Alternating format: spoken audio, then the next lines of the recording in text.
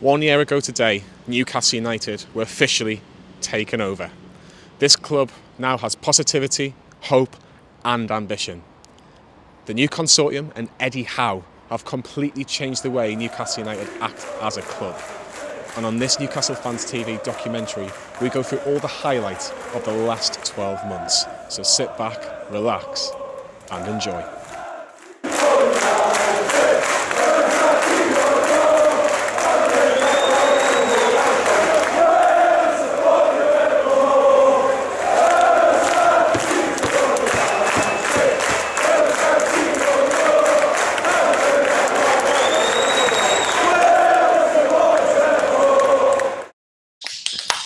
Oh, I'll drink to that. I'll drink to that. Hashtag fucking cans.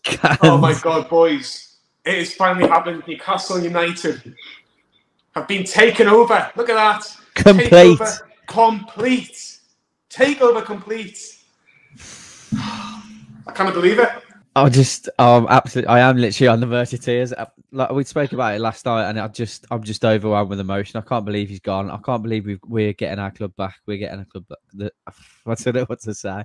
Um, yeah, it's it's mental. I just hope they do what we've spoken about and bring ex players back for ambassadorial roles. Um, we invest wisely. We invest into the youth academy, into the infrastructure, and oh, lads, man, fucking hell. It's done. It's finally fucking done. I'm over the moon. Like I'm sick of the sight of that man, and I'll never have to look at him again. Honestly, The first time the takeover fell through, I was absolutely gutted. I was uh, honestly inconsolable. So when this time came around, I thought, you know what? International break, January transfers coming up. Steve Bruce is getting shite results. Surely it's just another rumor mill starting up again to get us get us back on side to get us past another transfer window without investment. I was Mr. Negative Nelly until this morning when I woke up. Still didn't believe it when I went to sleep last night, and then this morning I woke up expecting an announcement today. I'm st- I'm hyperactive. I feel like a kid on Christmas. It's my birthday, Christmas, and anniversary all come at once. I don't know what this. I'm absolutely buzzing. Obviously, you know there are issues to be dealt with, but I'm just so glad that it's over the line.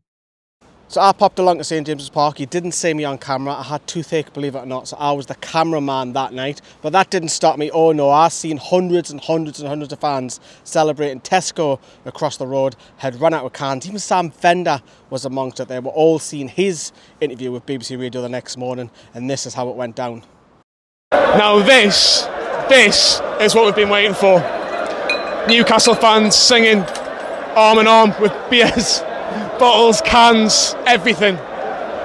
It's been a long, long 14 years, but this, this is what's over. club! He's out of our club! That fat cockney bastard! He's out of our club! I don't think I could have put it better myself. You know, we've been waiting a long time for this, and the smiling faces. I know there's a song about all the all smiling faces, but I think it seems appropriate tonight. Newcastle fans are celebrating. Look at Sir Bobby Robson statue. I'm sure you'd be watching, thinking Newcastle United are back. Look at it. So many shapes. There's a football in the air, and just above us, war flags. They're back. They're back. You know, where does the fan channel? We, we don't speak for all the fans, but I think this is one thing that most Newcastle fans really wanted was a takeover, and it's finally being completed. Thursday, October the 7th, 2021 was the day of that. Look at that. Look at the lights where the Sheik is. Absolutely incredible scenes here. Absolutely incredible. We're no longer a sleeping giant. This giant has just woken up. And Newcastle United are back. And now, as you can see, all the fans there. Look how many fans there are. On a Thursday night in Newcastle on the international break. You can imagine what it's going to be like in 10 days when we play Tottenham. But we've got ambition, we've got hope, we've got something to look forward to now as fans. They've got a tough job in their hands, of these new owners, but you know what? All the best. And if you can deliver what you what you're saying you can do, oh, we'll be eternally grateful. Eternally grateful. One thing I do want to say, and one man who I hope is sitting with a little drink to his side is Kevin Keegan, because this man wanted this 13 years ago when he left the football club. He knew that Newcastle United could actually achieve something without Mike Ashley. And today we've done the first bit. Mike Ashley's no longer here. Let's just hope. Let's just hope that Newcastle can actually, you know, an FA Cup. Could you imagine winning an FA Cup? That would do for a lot of Newcastle fans. You know, that would do for the elder fans, the younger fans, everybody. And hopefully this fan base can be united. You know, no more squabbles anymore. Let's all get behind this regime. Let's all get behind Newcastle United. Let's stay up this season and let's see where this club can go because this club can actually do something. It can be something. And we've got so many good people that support this football club, likes of Warren Barton, Rob Lee, Alan Shearer, you know, even people on Sky Sports that have been probably getting a bit emotional, Keith Downey and, and um, Pete Graves, you know, being absolutely fantastic when it comes to this takeover. George Caulkin, you know, Liam Kennedy, people like that, Chris Waugh, friend of the channel as well. So many people have backed this takeover and it's finally come to fruition. So as the news broke, Newcastle fans galore were absolutely delighted. And we bumped into some very well-known Newcastle United fans. And of course, they were jubilant as ever. This is surreal. All this is so surreal. I grew up in Ireland as the only Newcastle fan in my school. I was laughed at all throughout my childhood and teenage years. Right now, we're the richest club on the planet. Who chose poorly now, huh? Mate, honestly, coming down here, I thought, it's, oh, it's going to be good, it's going to be alright. How was Leah? It's still going on. 10 cans, Leah. It's still going on. I'm enjoying it. You've got to enjoy it. You've got to. This is what we've been waiting for for a long fucking time. I know Staveley was here four years ago, but honestly, uh, when this all broke down in 2020, I thought that was it. We've missed the boat. In the space of 24 hours, we've gone from Ashley to he's gone. He's, he's literally gone inside a few hours. It's uh, it's ridiculous. It's absolutely ridiculous. And you can see the scenes right here. I don't think any of them. Get the camera Yeah. It's incredible. It's absolutely incredible. Honestly, I was just saying to to Deanna, were Man City fans doing this in 2008? I, I don't think so. Like this is a this is proper fan base. It's like we've won the league already. It's like we've won a cup. Like Stop having a go, people. Oh, shall we boycott? Shall we not? Oh, you should buy a pint. You shouldn't. Oh, shall you buy a top? Shall you not?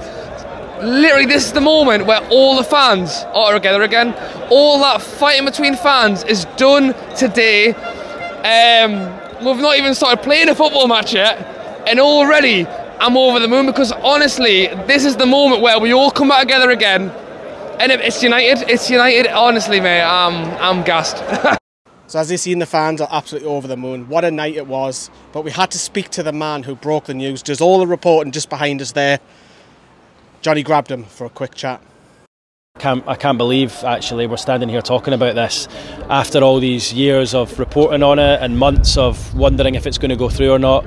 Um, it's been this has been a, a, a, really really mad day, and all my, my fellow reporters I've spoken to who've been up here at different stages, we've all just looked at each other and just gone crazy day, and it's, and it's just felt like that. It's been it's been really really good to feel part of. I'm pleased for you guys that, that you're happy. Um, I, I got a little bit emotional myself earlier because. Um, I mean, I'm not a Newcastle fan, but I've covered the club for a, a long time. And when we were doing the live, updating the that it was almost there, and then when we broke the news that the takeover was done, we actually could hear people down down behind us at St James's Park, down near the Bobby Robson statue, shouting and roaring at everything we said, and it was just it just was it was just a really really emotional moment, and it kind of just kind of made me realise how much it, it, meant to everyone, and it just kind of actually made me feel a little bit upset, and I thought, God, what, what's going on here? But I think I think that's just what happens when you when you report on a story of this magnitude, you realise importance to everyone else, and then it kind of made me feel a bit like that. So um, so yeah, it was a bit weird, but listen, it's it's great, as I said earlier. We've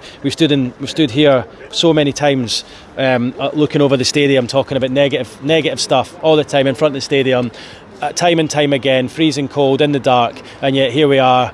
And for once, it's a it's a joyful moment, and everyone's happy. And if I'm honest with you, if I'm honest with you, my time covering this club, I never thought it would probably arrive. And the takeover was done. But Steve Bruce just lasted one more game.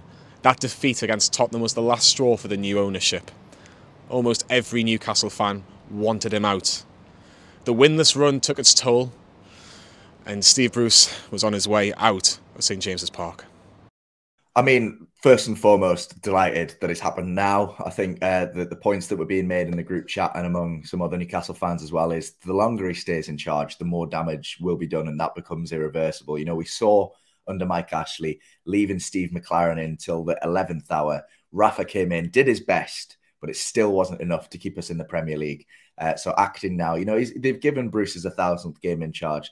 They've given him uh, an opportunity to say, look, this is who I am. This is the football I want to play. Give me a chance.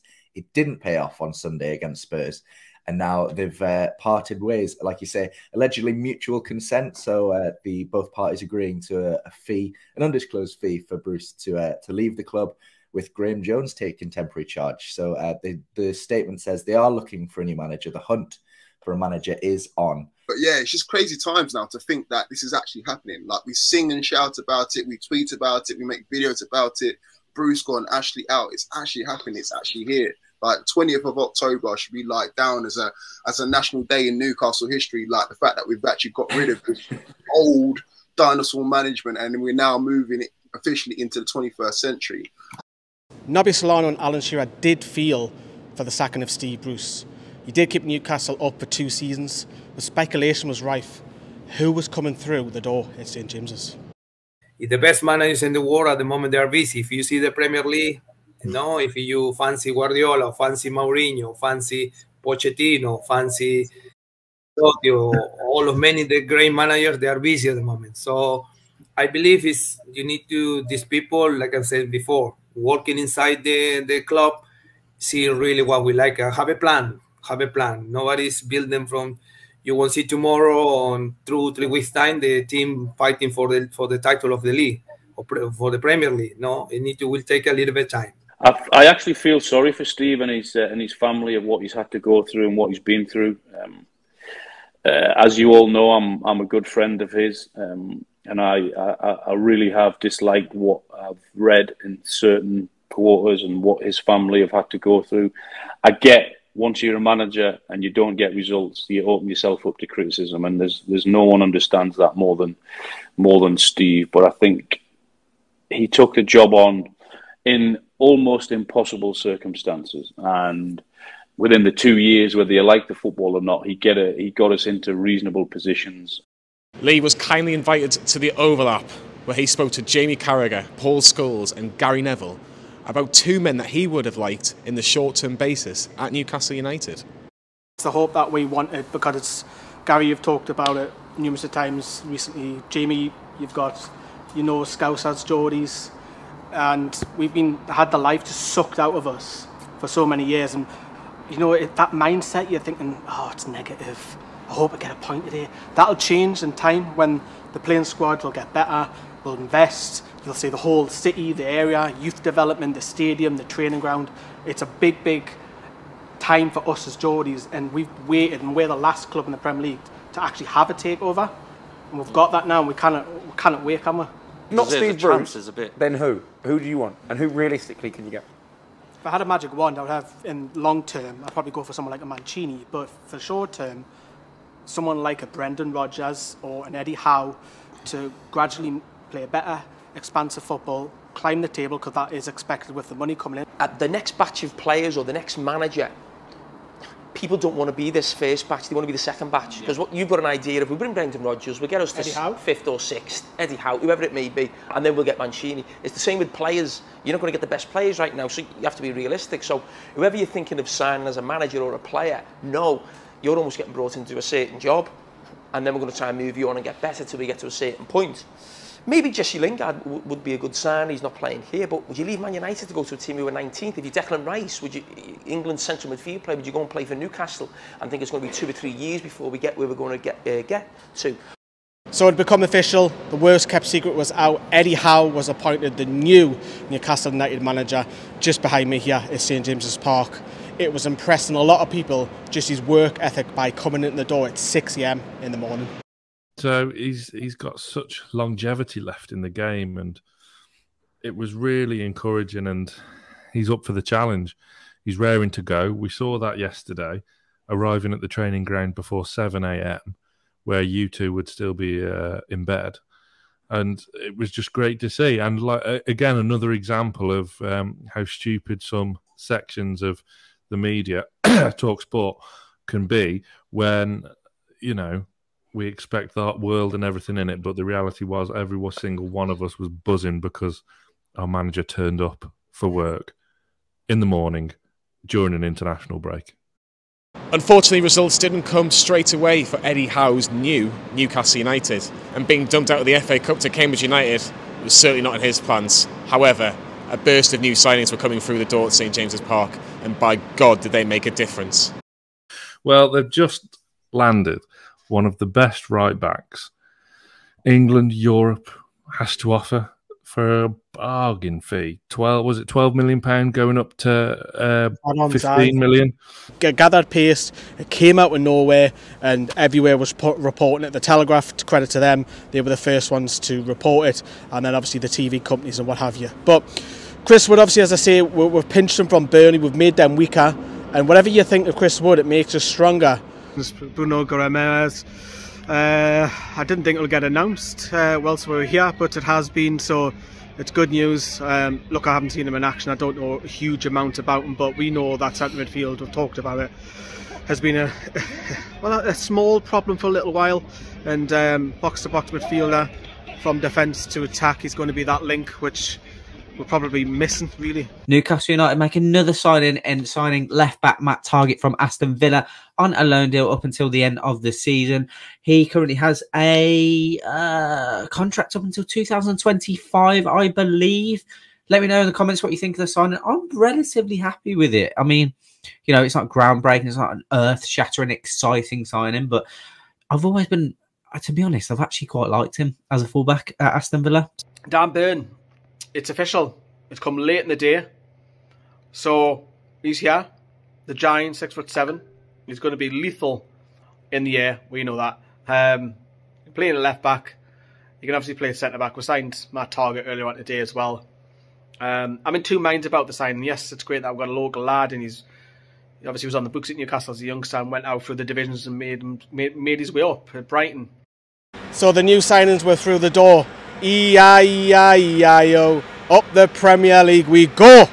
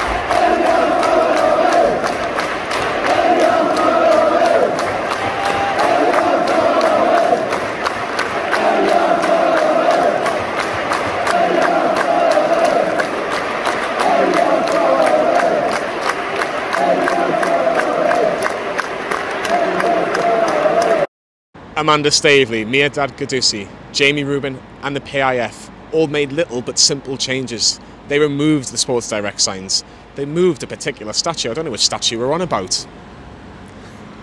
it was all those little changes that made a massive difference to the fans for Newcastle United. But even in people inside the building behind us, pay rises for staff members, But most importantly, it was the transition for the Newcastle United women's team, as over 22,000 Newcastle United supporters saw them put on a fantastic display as Becky Langley's side beat Alnwick Town by four goals to nil. A sensational afternoon for all involved. Why the Bellend who used to own us just didn't engage with this club and this area, and uh, just more. It's, he abandoned this this this club, as in the women's team, and to see so many people turn out today in a tier four game, that was the highest domestic attendance in women's football this season. Watford Burnley didn't have this attendance yesterday. Watford Burnley, incredible, absolutely incredible. What a turnout! Um, I can imagine there was some tears in the. Um, in the dressing room leading up to that, seeing the crowd. I was getting a bit emotional as well, seeing them walk out to local hero, and because we've obviously been following the team for for a, a good number of years now. We've had manager, captain, and the two playmakers on the podcast. We knew how much it meant to them, so it was a, an incredible moment for them. I'm, I'm so kind of proud of them from afar. Sounds like a proud dad, doesn't he? It, that's what it feels like, though. It's an incredibly family, family. It was a family day. I thought. I think we're just so inspired by the crowds to, you know, have that many people come and support our women's team is just a dream come true. Um, when we were warming up, the stadium was starting to fill, and you know, it just you saw the Gallowgate end started to open up. You saw the Leazes stand start to fill, and then 15 minute delay on kickoff just because there's 5,000 people outside. It's just it's things you can only dream of. That doesn't happen in women's football, and it has today, and that's something we're just incredibly proud of. What can we get when we move up through the leagues? I mean, look at the support. There was people here from everywhere. There's people that's travelled over 200 mile just to support us, and I think it's amazing. It's it's overwhelming, and it's something that'll live with all of us forever. Um, we've made history at the end of the day, I mean, what a day to do it on. So summer had came. Newcastle was safe. Newcastle was splashing the cash the owners backed Eddie Howe once more, and a ton of players once again come through the door. Matt Targett is now a Newcastle United player. I said £15 million. It was two to three million pounds in the January, so we had him on loan till the summer, and then £12 million today. But we've signed an England international for the second time this year, everybody. Who would have thought that? Not under Mike Ashley, no, no, no. But Kieran Trippier came in in January and now we've got Nick Pope who's going to be coming in signing a fairly long-term deal. A little bit surprised perhaps maybe. It's not a position I thought Newcastle are desperate to strengthen. Sven Botman everybody has signed on the dotted line. I'm happy about it. We've been after him and Diego Carlos since January. Carlos has obviously buggered off to Aston Villa. He's the fool there. But we've got our man left-footed tall Dutch centre back who has been away on holiday after playing for the under 21s very, very recently.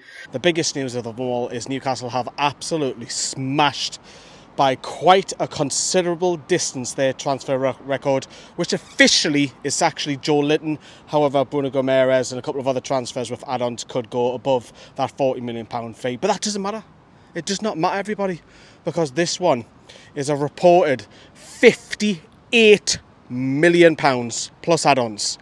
58 million pounds. They have literally just said, chuck the money, chuck the money, go on.